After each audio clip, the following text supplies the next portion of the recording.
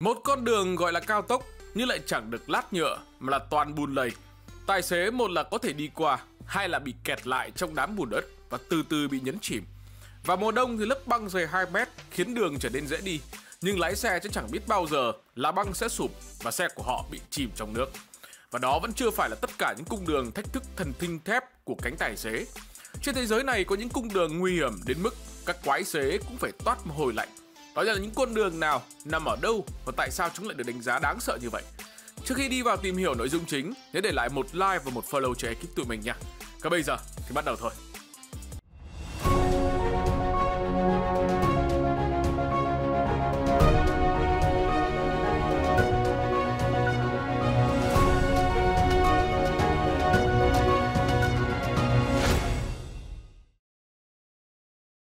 Giải rác từ đông sang tây, từ bắc chí nam, trên thế giới có nhiều con đường đáng sợ, nhưng có top 9 cung đường đáng sợ hơn cả.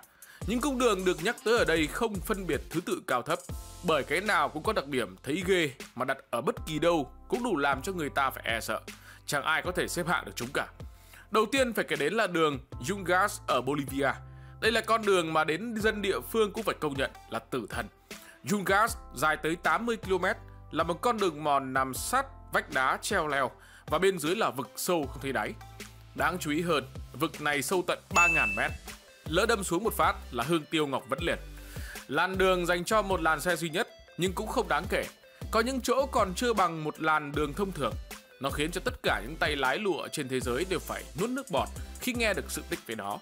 Tuy nhiên, điều đó cũng không ngăn cản được những ai đam mê mạo hiểm muốn chinh phục con đường này nằm chắn giữa thủ đô của Bolivia, La Paz và Coroco thuộc vùng Yugas này. Trước khi đến con đường tiếp theo, chúng ta sẽ nhắc về một sự kiện.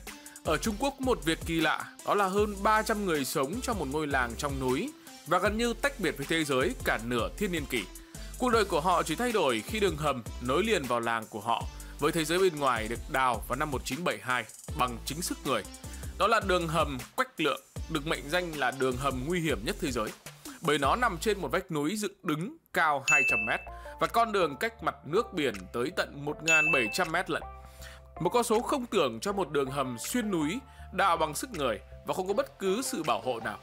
Nếu bạn lỡ chạch đường dây một chút thôi, hậu quả chính là đi ngắm gà khỏa thân đấy ạ. Nếu hỏi con đường trải nhựa cao nhất thế giới là gì, bạn có biết đó ở đâu không? Đó là cao tốc Karakorum nối thủ đô Pakistan với thủ đô của Trung Quốc là một phần của con đường tơ lụa nổi tiếng. Cao tốc này nằm ở độ cao 4.693m, xuyên qua các dãy núi hùng vĩ. Những đỉnh núi cũng chẳng có ma nào ở và những dòng sông băng đủ đông cứng người. Vậy nên trên cơ bản nó vẫn được liệt kê vào hạng mục nguy hiểm nhất trên thế giới, dù là một con đường trải nhựa. Tất nhiên vẫn còn rất nhiều du khách với trái tim quả cảm đi phượt trên cao tốc Karakorum chỉ vì muốn ngắm nhìn cảnh quan ấn tượng dọc hai bên đường mà thôi.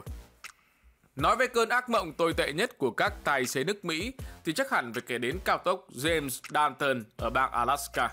Nó là cao tốc có trải nhựa, nên đương nhiên trong điều kiện thời tiết đẹp thì rất ổn áp. Đáng tiếc là ở đây chả có cái ngày nào là thời tiết được gọi là ổn, chứ đừng nói là đẹp. Nhiệt độ thấp khiến cho mặt đất thường xuyên đóng băng hay có sương mù và bão tuyết. Nếu tài xế nào xui xẻo đi ngang qua lúc bão tuyết, thì xem ra con đường về nhà cũng lắm gian nan chắc trở đấy ạ. Nó trải dài tận 666 km từ nội bang Alaska đến gần Bắc băng Dược. Càng đi sâu sẽ vô cùng lạnh lẽo. Vẫn là cao tốc, nhưng giờ là một trong những con đường cao tốc dài nhất thế giới. Con đường ấy tên là Lena, xuyên qua Siberia và Yakutsk của Nga và trải dài tận 1.212 mét. Nhưng không có một cm nào được giải nhựa hay bê tông cả. Khoan, các bạn đừng mắng chính quyền vội, vì họ thực sự không phải không muốn thi công do phần đất nền ở nơi này quá yếu, không đủ bền vững để giải nhựa. Vào mùa hè trong điều kiện thời tiết từ 32 đến 35 độ C và mưa lớn liên tục, mặt đường cao tốc Lena hoàn toàn trở thành một đống bùn nhầy và nhão nhoét. Lúc đó, nó sở hữu một loại năng lực khiến cho không một chiếc xe nào có thể di chuyển được. Và thế là tắc đường ra đời. Kinh điển nhất phải kể đến pha tắc nghẽn đi vào lịch sử. Hàng ngàn ô tô phải xếp hàng dài gần 100 km suốt nhiều giờ liền. Có những xe thậm chí còn bị nhấn chìm dưới lớp bùn đất. Nhưng đây cũng chưa phải là điều đáng sợ nhất của nó. Cao tốc Lena nằm ở một nơi hoang vu hẻo lánh nên sẽ không quá bất ngờ nếu như một con thú hoang dã nào đó đứng ở giữa đường và xây hai với tài chế trên xe. Nếu đây không phải là con đường duy nhất nối Siberia với Yakutsk thì chắc chắn chẳng có ma nào muốn đi qua nó. Nếu như tìm hiểu kỹ, bạn sẽ nhận ra con người có hàng nghìn cách để xây dựng cao tốc, nhưng cũng có hàng trăm cách để biến nó thành điều nguy hiểm. Ví dụ như đường cao tốc Liên bang 1 ở Mexico. Con đường này được xây băng qua không trung và rất nhiều đoạn cao hơn cả đỉnh núi đối diện. Phần chân chống của cao tốc này được đặt trên đỉnh núi và không có quá đảm bảo về mặt an toàn cũng như là chất lượng đất. Một trận sạt lở với quy mô khổng lồ sẽ trở thành nỗi lo lớn nhất của những tài xế băng qua con đường này. Cao tốc Liên bang 1 của Mexico cũng có bể ngang rất hẹp và không có rào chắn. Lỡ mưa rơi xuống đây thì cũng không tốt hơn là đâm xuống vực là bao. Đã qua bao đường núi, đường cao tốc, bây giờ chúng ta sẽ đến đường đèo. Nếu như đèo Bren ở Đà Lạt trở thành cơn ác mộng suốt nhiều năm liền của du khách, thì đào Trollstigen ở Na Uy cũng vậy. Nhìn từ xa thì đây là một cung đường ngoạn mục với cảnh sắc tươi sạch, không khí trong lành ở cả hai bên đường. Nhưng khi đến gần hoặc thậm chí là trải nghiệm rồi mới biết được con đường này kinh khủng tới cỡ nào. Trollstigen nằm ở vị trí khoảng 15 km về phía nam của Adasnes trong địa phận Romsdal.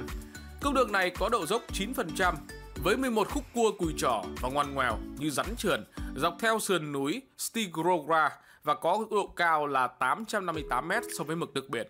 Mặt đường ở đây rất nhỏ và trộm vía vẫn có đủ hai làn đường. Nhưng cái giá phải trả là mỗi bên đều phải đi nép sát vào núi nếu như không muốn xe mình có một vài cái ôm ô yếm với người bạn đi đường ngược lại. Nếu như nhìn từ trên cao xuống, bạn sẽ cảm thấy như đang lạc vào một mê cung của tự nhiên vậy. Cảnh đẹp thì đẹp thật đấy, nhưng bảo phượt qua con đèo này thì cũng thấy đỡ đẹp hơn rồi. Một con đường khá thú vị của đất nước Pháp xinh đẹp mang tên là Passage de Gois. Con đường này nằm ở tỉnh Vandy, chỉ dài 4,5 km và nối đảo North-Mortier với Pháp. Đây là một trong những con đường nổi tiếng nhất của nước Pháp, thường được sử dụng cho những giải đua xe đạp hay là chạy bộ. Xe cộ có thể lưu thông thoải mái. Điều đáng tiếc duy nhất của nó cũng là lý do khiến nó được xếp vào cùng đội ngũ với các liền anh liền chị bên trên. Đó chính là tuyến đường băng qua Đại Tây Dương. Tức là người ta xây nó trên cát và ngay sát với biển. Bạn sẽ không bao giờ biết rằng thủy chiều sẽ dâng cao như thế nào hay bắt đầu từ lúc nào. Thông thường cho điều kiện may mắn nhất, tài xế chỉ có 3 tiếng trong ngày để vượt qua con đường này. Còn nếu không, rất có khả năng những chiếc xe ấy sẽ có một tour đi thăm Long Vương miễn phí. Điểm dừng chân cuối cùng trong list ngày hôm nay cho các quái xế đó là con đường skipper Canyon ở New Zealand. Nó nằm ở trên núi và bên dưới là một dòng sông băng. Mức độ nguy hiểm của nó còn cao đến mức phải xin giấy phép từ chính quyền địa phương mới được phép đi vào. Nguyên nhân do đường nhiều sỏi đá, không được trải nhựa hay là bê tông nên cực kỳ khó đi. Nó cũng chẳng có một cái rào chắn nào cả.